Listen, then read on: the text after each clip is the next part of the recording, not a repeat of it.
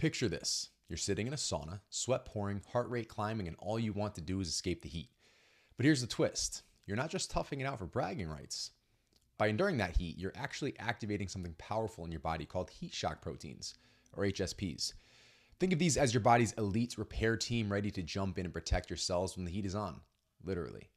Heat shock proteins are becoming a hot topic in health circles, pun intended, because they do more than just help us handle stress. They're linked to cellular resilience, improved recovery, and even increased longevity. But how do they work? And can you actually harness their benefits?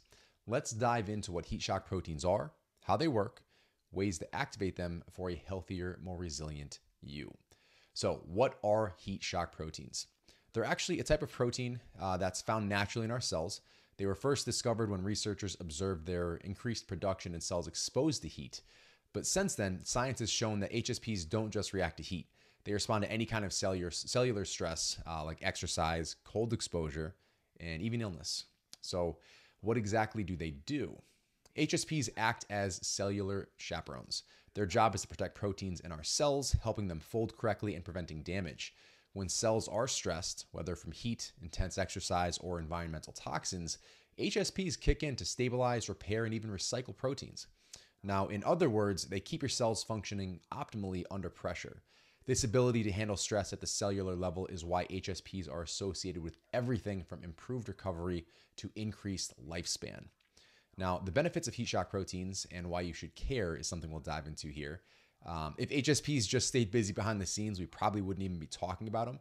But the reality is, they're linked to a whole range of health benefits enhanced recovery. So, after a tough workout, HSPs help repair muscle cells, reduce inflammation, speed up recovery time so you're back at it even sooner.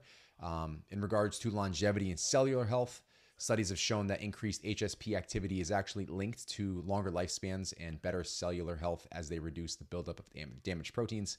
Um, they're great against illness, so HSPs do boost the immune, immune system by helping cells respond uh, to stress more efficiently, which can, can aid uh, in fighting off infections and diseases. Um, it's great at improving brain health. So, research does indicate that HSPs play a role in protecting neurons from damage, which is promising for maintaining brain health as we age. Um, now, how we can boost heat shock proteins is something we can talk about. We'll dive into here. Uh, the good news is that you don't need to wait for stress to activate these proteins. You can actually intentionally boost, boost HSP production with a, a few specific strategies. So, the first one, embracing the heat, saunas and hot baths, as the name kind of implies. Sauna therapy is one of the most effective ways to stimulate HSPs. Spending time in a sauna, which can be anywhere from 10 to 30 minutes at a high temperature, uh, exposes your body to enough heat to, to boost the HSP production. Um, in fact, a study published in the Journal of Human Kinetics found that people who used the sauna regularly had higher HSP levels and enjoyed improved cardiovascular and muscle health. Now, if you don't have access to a sauna, a hot bath may also trigger HSPs, though it may not be as effective as the higher heat environments. You just need to make sure that the water is hot enough to get a sweat going. Now, the second one is a bit ironic. It's cold exposure. So, ice baths and cold showers. Yes, even cold exposure can increase heat shock protein levels. And it may seem counterintuitive, but the body is exposed to extreme cold, or when it's exposed to extreme cold, like in an ice bath or a cold shower, it activates a similar stress response that does boost HSP production. Studies have shown that cold therapy, when used regularly, can help promote resilience in the immune system and aid in the recovery uh, by stimulating these proteins. Now, if you're new to cold exposure, you know I'm a big fan. Um, start with cold showers and work your way up to those ice baths or other forms of cold therapy. A little discomfort can go a long way in activating those HSPs. Uh, the third one is high intensity exercise. So, a high intensity workout does more than just build muscle and burn calories, it also stimulates HSPs. When you push your body to its limits, whether through weightlifting, sprinting, or other forms of these intense exercises, your body recognizes the stress and calls HSPs into action. This is one reason why intense physical activity is actually uh, shown to improve resilience and recovery. Now, keep in mind though that balance is key. So without overdoing it, we need to make sure we have proper rest, and that otherwise they can lead to chronic stress, uh, which is the exact opposite effect. So to give your body time to recover between those high intensity sessions is of utmost importance. Number four, intermittent fasting or other forms of fasting have also been shown to increase HSP levels. Fasting does trigger a mild response in the body, a mild stress response, uh, which then activates HSPs. And the, excuse me, and these proteins can play a role in protecting cells during the fasting state, making them more resilient when they go back to processing nutrients. This process has been linked to benefits like improved cellular health, reduced inflammation, and even better energy regulation.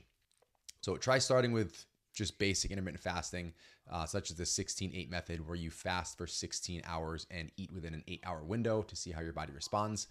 Myself personally, I just consider that a normal eating pattern. So that does tend to boost the, uh, the benefits here when it comes to fasting. That simple 16 8. Now, there are some risks and considerations.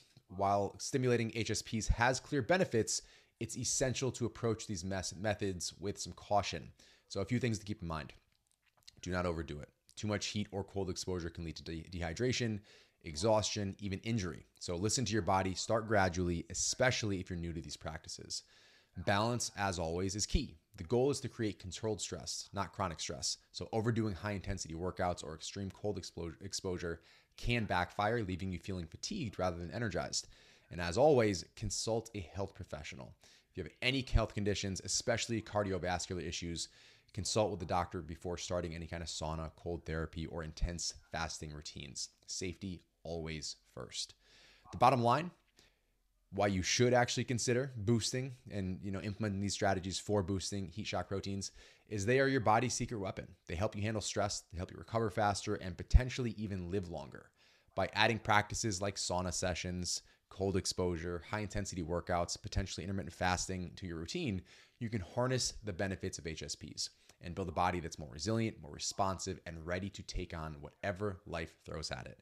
So the next time you're sitting in a sauna, freezing in a cold shower, or pushing through that last set at the gym, remember, you're not just enduring, you're optimizing, and your body will thank you. If you are interested in learning more about advanced health strategies, uh, we can build a personalized plan with a team of experts by checking out the link in the description of this video. So just drop down to that link, check out our one to one coaching. And as always, if you guys found value in this video, please like and subscribe. It really helps out the channel. We'll catch you in the next one.